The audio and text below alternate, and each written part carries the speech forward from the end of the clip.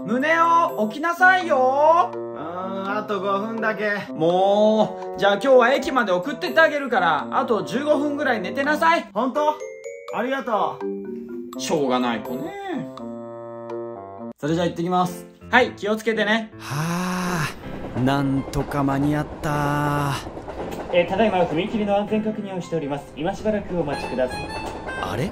電車遅れそうだなすいません、金さん。はい、どうされました？遅延証をください。何分遅れてましたか ?10 分ぐらいですかね。じゃあ今日は特別に30分おまけしておきますね。えー、いいんですか？あそこのベンチでゲームでもしてから、ゆっくりと行ってきてください。ありがとうございます。それじゃああと30分ぐらい授業があるんですが、残りの時間は自由時間にしたいと思います。失礼します。宗男くん、遅刻かな？電車が10分遅れてました。ん ?30 分ってなってるぞ。書き換えたな。あー、駅員さんがおまけしてくれたんです。優しい駅員さんだな。それじゃあ先生も30分おまけしてあげるから、ゆっくり寝てなさい。え、いいんですか？よく見てみなさい。